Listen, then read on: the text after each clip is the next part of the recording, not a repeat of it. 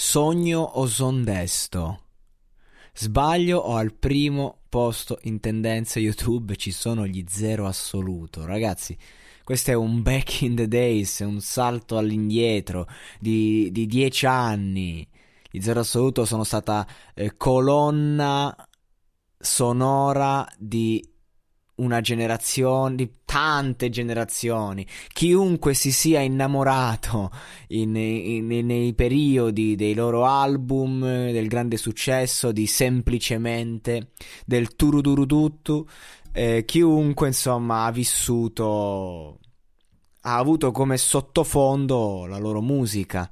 Io mi ricordo ero piccolo, quindi diciamo che l'amore lo, lo sognavo, lo speravo non è che è cambiato tanto rispetto ad oggi, a parte qualche sprazzo di assaggio e di quello che capita, però ecco, a fatti concreti siamo sulla stessa lunghezza d'onda, no? Un po' più consapevoli.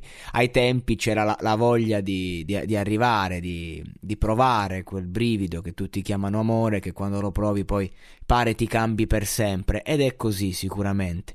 E, e io ricordo che vedevo mia cugina più grande invece che mm, insomma ho voglia di te, tre metri sopra il cielo, zero assoluto, le prime cotte ed era pazzesco, no? E eri lì e dicevi ma quando toccherà a me? E calma, hai dieci anni, ci vuole un po', un po' più di tempo e di lì a poco poi sono avvenute le prime esperienze, ma gli zero assoluto c'erano, erano lì, e ti cantavano E per ogni giorno mi perdo un ricordo che tengo nascosto lontano dal tempo. Scusate, ma troppi ricordi, non ce la faccio. E vederli prima in tendenze mi, mi emoziona, mi tocca in prima persona, è come se ci fossi io. Ma poi vieni a scoprire che il prima in tendenze più che al valore del brano è arrivato perché praticamente nel video ci sono due TikToker a quanto mi è stato riferito e, che sono abbastanza molto molto famosi che tipo sono lasciati, rimessi insieme. Insomma, questo video è stato il cioè questo, questa canzone è stata la colonna sonora del loro riavvicinarsi proprio nel video. E, e, quindi questo video narra proprio il riavvicinamento di questa coppia seguitissima da, dal web ecco. Quindi di conseguenza eh, sono stati furbi sono stati furbi grandi zero assoluto che hanno sfruttato il gossip per tornare alla ribalta che poi eh, insomma è un po' che fanno mosse corrette.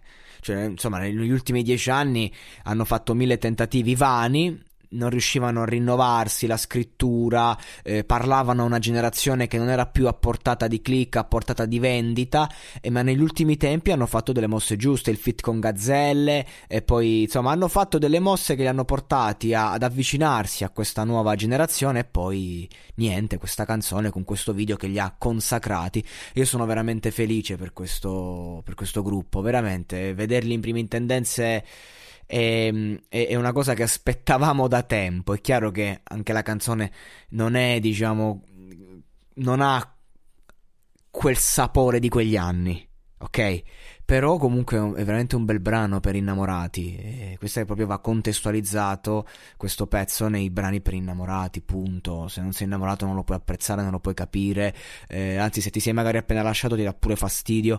Però a fatti concreti, questo video funziona, tra l'altro. Io detesto i TikToker, YouTuber, tutto quello che c'è dietro, però eh, funzionano, si vede che non sono attori, che stanno facendo loro stessi con, il loro, con, con loro, la loro emotività eh, perché come attori sono pessimi, però essendo loro stessi, eh, anche il loro, di, il loro, disagio, il loro non saper, diciamo, stare nella parte, parla di loro stessi e, e sono molto carini, ecco, non voglio fare mola lo Sleepover Club, sono, cioè, sono un ragazzo di 26 anni e, e non una ragazzina di 15, però a fatti concreti funziona, il, il, tutto funziona, la canzone è una colonna sonora perfetta, carino il gioco con le cialde nel ritornello, eh, carine anche le, le, parole, cioè comunque non è, non è poesia, però comunque eh, tratta bene la tematica, con leggerezza ma senza essere troppo banali o cadere nello, nello stupido, perché poi è facile eh, scrivere quando si parla d'amore cose assurde, invece no, è molto realista questo brano